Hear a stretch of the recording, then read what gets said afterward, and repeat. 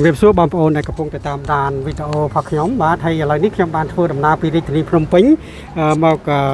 ភ្នំឧដុង្គបាទហើយដោយសារនៅជើងភ្នំឧដុង្គសម្បូរទៅដោយមនុស្សហើយច្រើនហើយខ្ញុំក៏ឲ្យក្មួយស្រីនេះមកចូលនៅក្នុងវត្តដើម្បីថែរក្សាសុវត្ថិភាពគាត់ដើម្បីកុំឲ្យគេដឹងពីបញ្ហាដែលបងប្អូនប្រជាពលរដ្ឋខ្មែរយើងជួយថវិកាគាត់ហើយអឺសូមអឺអឺបងប្អូនដែលបានមើលឃើញហ្នឹងអឺ ច្រើនតែអឺនិយាយថាខ្ញុំហ្នឹងអឺកុំឲ្យមាត់កុំឲ្យប្រាប់គេហើយខ្ញុំហ្នឹងយកទៅអឺបង្ហោះនៅក្នុងប្រព័ន្ធ YouTube ហ្នឹងឲ្យគេឃើញពេញពិភពលោកបាទខ្ញុំដឹងថាគេឃើញពេញពិភពលោកមិនតែទោះជាណាងណាបងប្អូនខ្មែរដែលនៅឯនេះសមុទ្រហ្នឹងមិនដែលជិះយន្តហោះមកអឺចង់បានលុយគាត់ទេបាទគឺខ្ញុំលាក់អ្នកអ្នកអ្នកនៅក្បែរក្បែរគាត់កុំឲ្យគេអឺចំណែនគាត់អញ្ចឹងការពារសុវត្ថិភាពគាត់តែប៉ុណ្្នឹងទេព្រោះអ្នកចិត្តខាងគាត់ហ្នឹងគឺគេមានចំណែនគាត់អញ្ចឹងគាត់អឺពិបាកអឺ រកស៊ីទទួលទានថាគាត់បានលុយបានកាក់អីច្រើនអញ្ចឹងអញ្ចឹងយ៉ាងណានោះខ្ញុំនឹងទៅចែកជាមួយគាត់អំពីអ្វីដែលគាត់លក់នេះបាទឥឡូវក្មួយស្រីជំរាបសួរហើយក្មួយស្រីអឺលក់អីគេហ្នឹងលក់មើមឈូកមើមឈុកហ៎ចាហើយក្មួយស្រីមានឈ្មោះអីទៅបើខ្ញុំឈ្មោះសេនិចស្រីណៃហើយហើយហើយពោះយើងហ្នឹងកើតជំងឺអីកើតជំងឺធ្លាក់អណ្ដាខៃខ្វះឈាមលាក់អណ្ដាខៃខ្វះឈាមហើយក្មួយស្រីមានដែរទៅពេទ្យអីទៅអឺព្យាបាលអីដែរ ខ្ញុំទៅពេទ្យរាល់ខែអញ្ចឹតើងព្យាបាលរាល់ខែតែឥឡូវយើងបានធូរជាងមុនហើយបាទពួកហ្នឹងដោយសារខ្ញុំវាហើយហើយអញ្ចឹងហ៎ចាវាហើយចាវាវាហើយហើយអឺប្រហែលខែហើយវាបានមួយឆ្នាំហើយមួយឆ្នាំហើយមិនក៏នៅតែពោះយើងប៉ោងអញ្ចឹងនឹងស្វក់ជាងមុនស្រកជាងមុនចាក៏មុនធំជាងនឹងឥឡូវហ្នឹងអឺគាត់ណាអ៊ំប្រាប់ណាអឺក្មួយអឺស្គាល់ប្រក់ផ្លែទេស្គាល់តាអាប្រក់ផ្លែហ្នឹងយកទៅដាំញ៉ាំបាត់ស្រកពួកណាចា មានដែរញ៉ាំអាហ្នឹងដែរអត់ដែរផងអញ្ចឹងឥឡូវហ្នឹងក្មួយប្រាប់ឪពុកក្មួយឬក៏ក្មួយស្គាល់ប្រក់ផ្លែហ្នឹងយកទៅដកដាំហើយញ៉ាំទៅពោះហ្នឹងស្រកហើយចាហើយភ្នែកបាត់លឿងទៀតស្គាល់ទេស្គាល់តា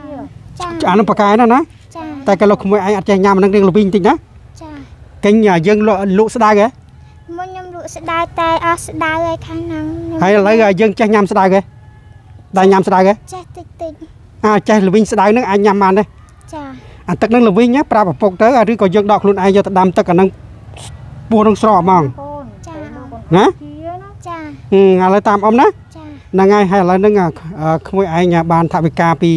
បងប្អូនដែលនៅឯនេះសមុទ្រហ្នឹងគាត់អឺជូនថវិកាខ្លះឲ្យក្មួយយកទៅធ្វើទុនរស់ស៊ីឬក៏ទិញថ្នាំពេទ្យណាចាហើយខ្វះលុយអឺទិញថ្នាំហ៎ខ្ញុំខ្វះលុយទៅពេទ្យហើយចឹងហ៎ចាអញ្ចឹងឥឡូវយើងចូលទៅក្នុងវត្តដើម្បីអឺទៅចែកគ្នាណាកន្លែងអឺកន្លែងណាដែលមិនសូវមានមនុស្សណា តោះឥឡូវយើងទៅជាមួយគ្នាតោះចាណាទៅចាឥឡូវនេះចាខ្ញុំបានជើញចាក្មួយស្រីឲ្យគាត់មកកន្លែងដែលវារៀងស្ងាត់មនុស្សម្នាចាកុំឲ្យអឺមានគេឃើញដោយសារតែថវិការបស់បងប្អូនខ្មែរនៅឯនាយសមុទ្រផ្ញើតាមរយៈយើងខ្ញុំយកមកជូនក្មួយហ្នឹងក៏វារៀងក្រែលចឹងហើយដើម្បីសុវត្ថិភាពក្មួយ ចាខ្ញុំក៏យកក្មួយចាមកចូលក្នុងវត្តអារាម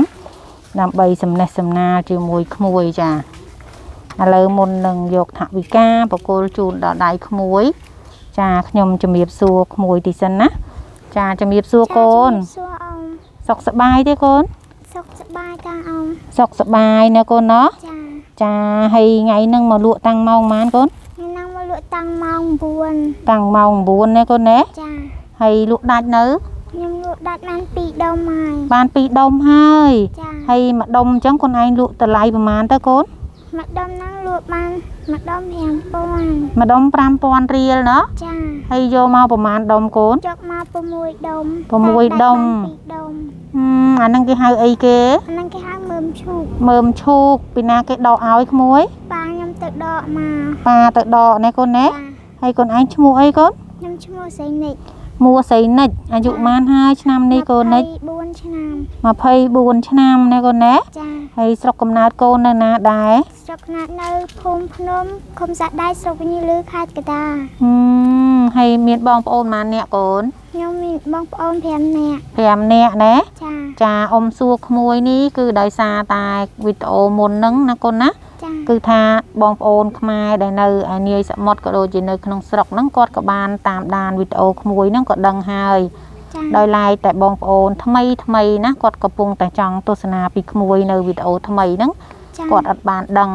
អញ្ចឹងហើយថ្ងៃនេះ ចាអ៊ំក៏មកសំណេះសំណាលជាមួយក្មួយសារជាថ្មីណាក្មួយណាចាដើម្បីឲ្យគាត់មើលវីដេអូរបស់អ៊ំនេះទៅគាត់នឹងយល់អត្ថន័យជ្រាលជ្រៅរបស់ក្មួយណាក្មួយណាចាចាអីចង់សួរបន្តិចមកថាប៉ាទៅរកកៅអៅឈូកឲ្យក្មួយទៅរកដល់ណាគាត់ទៅរកនៅវាចការក្រោយវាចកាក្រោយចកានឹងធំទេកូនចការគេនឹងធំដែរធំដែរកូនណាចាអូអញ្ចឹង យើងទៅរកហ្នឹងនៅក្នុងទឹកស្រះឬក៏ទឹកបឹងនឹងគោកៃអមវិគួយគោះកាហែងវាយកវាមកអញ្ចឹងចាអូហើយមានច្រើនទេនៅហ្នឹងមានច្រើនតាអមតែឥឡូវវាអត់រៀងធំវាទូទូវាវាអត់សូវមានទឹកអញ្ចឹងហ៎ចាហើយចុះក្រោយពីកូនលក់អាហ្នឹងទៅ កូនមានអីលក់ទៀតអឺបើអាហ្នឹងអត់មានទេដើររកទិញបន្លែអីលក់ទៅទៀតអញ្ចឹងចាហើយទិញបន្លែទៅទិញបន្លែនៅណាកូន ទិញបន្លែមកពីសាដងតែគេអ្នកមកមកពីលិចគេលក់គេយកមកលក់ណាដងអញ្ចឹងយើងក៏ទទួលពីគេយកមកលក់នៅតាមផ្សារដងនៅនៅនៅ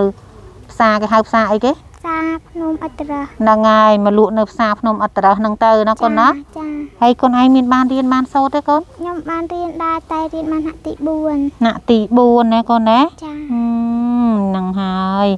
ហើយពូហ្នឹងឥឡូវមកចៃពស់ហ្នឹងបាន ធូរខ្លាយធូរខ្លះហើយចាអញ្ចឹងដូចអ៊ំប្រុសបានជម្រាបក្មួយមុនហ្នឹងអញ្ចឹងណាកូនណាចាគាត់ចង់ឲ្យក្មួយហ្នឹងទៅដកដើមប្រាក់ផ្លែណាកូនណាដាំញ៉ាំដូចញ៉ាំទឹកសាបយើងអញ្ចឹងពេលក្មួយស្រែកឃ្លានក្មួយញ៉ាំទៅណាចាក្មួយញ៉ាំទៅវាធ្វើឲ្យក្មួយជាហ្នឹងអាព្រោះអាហ្នឹងគេជួយព្យាបាលពុះពុះយើងកុំឲ្យធំណាចាហើយលោវាមានសាច់មានឈាមអីគេណា ចាក្មួយឯងចង់ដឹងក្មួយឯងសាក់ដាំមកកាសៀវលោមើលសាក់ញ៉ាំណាចាបើក្មួយឯងញ៉ាំត្រូវយើងព្យាយាមញ៉ាំទៀតទៅបើក្មួយញ៉ាំមិនត្រូវទេក្មួយមិនបាច់ញ៉ាំទេណាក្មួយណាចាមីនឹងហើយស្គាល់ហើយណាដើមប្រាក់ផ្លែចាឥឡូវនេះខ្ញុំមិនវែងឆ្ងាយទេដោយសារតែខ្ញុំបានរៀបរាប់ចាប្រាប់ដល់ក្មួយស្រីចាហើយក៏សួរនៅសំណួរខ្លះខ្លះៗរបស់ក្មួយស្រីដែលគាត់បានប្រាប់ខ្ញុំមិញមិញនេះ ជាច្រើនចារៀងក្រែលដែរអញ្ចឹងថ្ងៃនេះខ្ញុំក៏មានទឹកប្រាក់ចារបស់សពរស់ជនខ្មែរយើង ចាដែលគាត់បានផ្ញើថវិកាតាមរយៈយើងខ្ញុំធ្វើបន់ធ្វើទានជូនមកដល់អ្នកខ្សត់អ្នកអត់អ្នកខ្សោយឥឡូវនេះបន្តិចទៀតនេះខ្ញុំនឹងជម្រាបថាតើថវិកាចាដែលខ្ញុំទទួលបានមកពីបងប្អូនខ្មែរយើងនៅឯនាយសមុទ្រហ្នឹងគាត់មានឈ្មោះអ្វីខ្លះ ព្រោះថាយើងទទួលបានមកពីគ្រួសារចាដែលគាត់អាណិតអាសូរដល់ក្មួយស្រី ដែលមានឈ្មោះឈ្មោះអីកូនឈ្មោះសេងនិចឈ្មោះស្រីនិចចាហើយអាយុប៉ុន្មានកូនអាយុ24 24ឆ្នាំហើយរាល់ថ្ងៃមានផ្ទះសម្បែងខ្លួនឯងទេកូនមានតាអមមានផ្ទះតូចធំផ្ទះខ្ញុំមិនតូចមិនធំល្មមឯកូនណាចាមកល្មមនៅហើយប៉ាម៉ាក់កូនឯងរកស៊ីអីគេប៉ាខ្ញុំ ចង្ការរត់ទៅដប់ចង្ការទៅទៅដកមើមឈូកឲ្យអញ្ចឹងចាហើយចុះម៉ាក់មានម៉ាក់ទេម៉ាក់ខ្ញុំស្លាប់បាត់ហើយអូកូនឯងកំព្រាណាកូនណាកំព្រាម្ដាយនៅឪពុកណាកូនណាចាចាហើយឪពុកយើងគាត់អត់មានប្រពន្ធចុងណាឯកូនណាគាត់អត់មានផងអត់មានទេគាត់ថាចាំកូនហឹមល្អណាស់ណា ចាកំររកឪពុកល្អបានអញ្ចឹងណាកូនណាចាគាត់នៅស្រឡាញ់យើងគាត់អាណិតកូនគាត់មិនចង់ឲ្យអ្នកណាមកបៀតបៀនកូនគាត់ទេណាកូនណាចាចាហើយចុះប្អូនប្អូនខ្លួនឯងវិញបងប្អូនខ្ញុំនៅផ្ទះនៅផ្ទះហ៎ជួយធ្វើការផ្ទះតិចតួចអត់មានការងារធ្វើហឹមហើយចុះបងបងខ្ញុំគាត់ មួយទៅធ្វើការសំណង់នៅពេញមួយចិត្តមានប្តីហើយអញ្ចឹងនៅណាមានគ្រួសារគាត់មាននៅណាគ្រួសារហ្នឹងហើយគាត់នៅណានៅចិត្តចិត្តនៅចិត្តចិត្តនឹងដែរនឹងអញ្ចឹងហ៎ដែរអញ្ចឹងមានន័យថាគាត់បែកផ្ទះណោះចាគាត់បែកផ្ទះហើយហឹមតោះឥឡូវអញ្ចឹងមិនវែងឆ្ងាយទេក្មួយណាចាចាអ៊ំសុំយកថវិកាបកគលជូនក្មួយហើយអ៊ំនឹងជម្រាបថាតើជាសពរបស់ជនខ្មែរមួយណា ចាដែលគាត់បរិច្ចាគថវិកានេះជូនមកដល់ដៃក្មួយណាក្មួយណា ចាដោយសារតែខ្ញុំបាន ចាសំណេះសំណាលជាមួយក្មួយស្រីក៏រៀងច្រើនក្រាលដែរឥឡូវនេះថវិកាដែលនៅ ក្នុងដៃរបស់ខ្ញុំ ចាទាំងអស់នោះគឺ200ចា7ដុល្លារសហរដ្ឋអាមេរិកចាវាស្មើនឹង80ម៉ឺនចា82ម៉ឺនចា828,000រៀលណាហ្នឹងហើយឲ្យខ្ញុំនឹងយកថវិកានេះទៅប្រគល់ជូនដល់ក្មួយស្រី តែមុននឹងប្រគល់ជូនខ្ញុំសូមបញ្ជាក់បន្តិចថាតើអឺថវិកាទាំងអស់នេះខ្ញុំទទួលបានមកពីសប្បុរសជនខ្មែរយើងមួយណាចាចាចំពោះថវិកា107ដុល្លារគឺខ្ញុំទទួលបានមកពីចាសប្បុរសជនខ្មែរដែលរស់នៅ ទីក្រុងស៊ីដនី ប្រទេសអូស្ត្រាលីចាគាត់បានបរិច្ចាគទឹកប្រាក់ទៅក្មួយស្រីនិចដែលគាត់កំពុងតែមានជំងឺជំងឺអីកូនជំងឺ កាត់ចាក់នឹងខ្វះឈាមកើតអណ្ដើកនិងខ្វះឈាមចាដែលគាត់មានមុខរបរលក់ស្ដៅចាហើយក៏មានលក់បន្លែផ្សេងផ្សេងដូចថ្ងៃហ្នឹងអីគាត់យកស្អីគេមកលក់កូនឈូកអស់ចាមើមឈូកមកលក់នៅភ្នំឧដុង្គចឹងហើយ ចាគាត់ក៏បានផ្ញើថវិកាចាតាមរយៈយើងខ្ញុំនឹងចំនួន100ដុល្លារចំណែកឯ7ដុល្លារទៀតចាគឺគាត់ ឲ្យក្មួយស្រីយកទៅធ្វើចង្ហាន់ដើម្បីយកទៅប្រគេនព្រះសង្ឃណាកូនណាចាអស់ហើយសរុបទឹកប្រាក់របស់គាត់ទាំងអស់គឺ107ដុល្លារចាហើយទឹកប្រាក់របស់អ្នកមីងចា ដែលគាត់មានឈ្មោះថា តាំងសៀមជូចានិងស្វាមីព្រមទាំងកូនកូន ចានិងចៅចៅរបស់គាត់ទាំងអស់ចាគាត់ជាសប្បុរសជនខ្មែររស់នៅទីក្រុងចា Los Angeles រដ្ឋ California សហរដ្ឋអាមេរិកចាគាត់បានបរិច្ចាគទឹកប្រាក់ជូនមកដល់ក្មួយស្រីនិចដែលគាត់មានមុខរបរចាលក់ស្ដៅនៅឧដុង្គចាគាត់មានជំងឺជំងឺអីកូន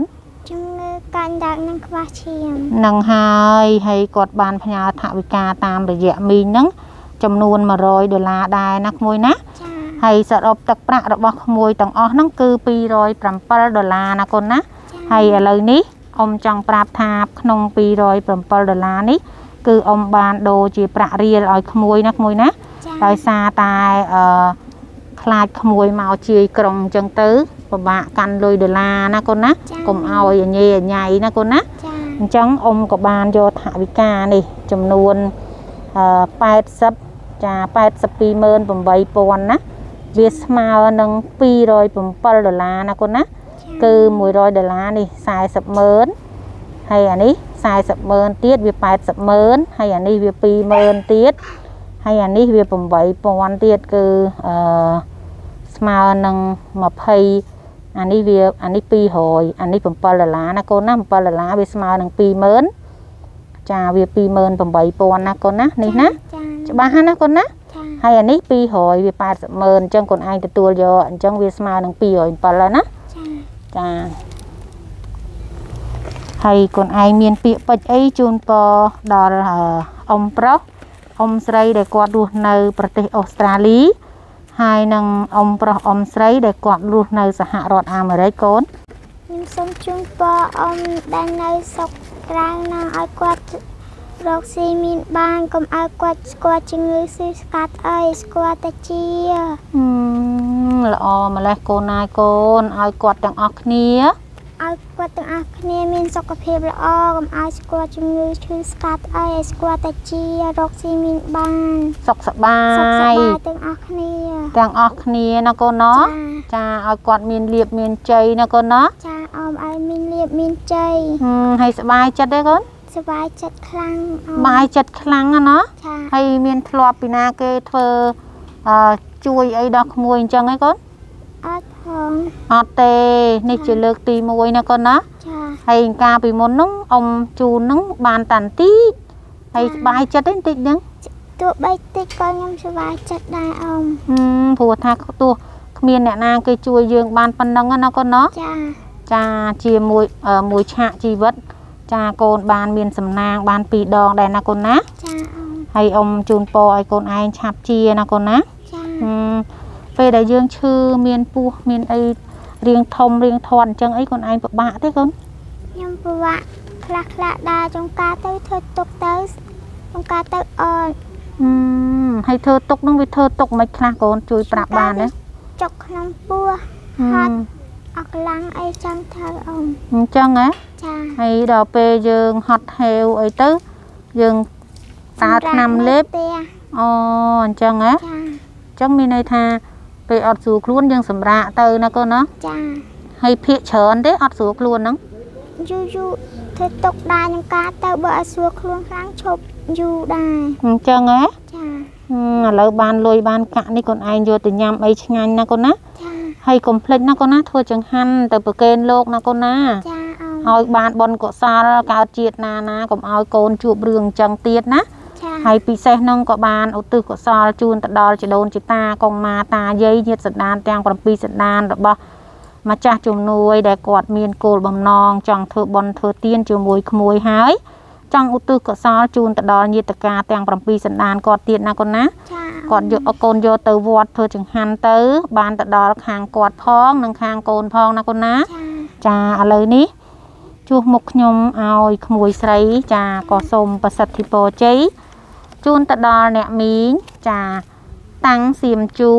និងស្វាមីព្រមទាំងកូននិងចៅ ដែលគាត់ជាសប្បុរសជនខ្មែររស់នៅទីក្រុងចាអឺ ទីក្រុង Los Angeles រដ្ឋ California សហរដ្ឋអាមេរិកហើយនឹងប្រសិទ្ធិពរជ័យទៅដល់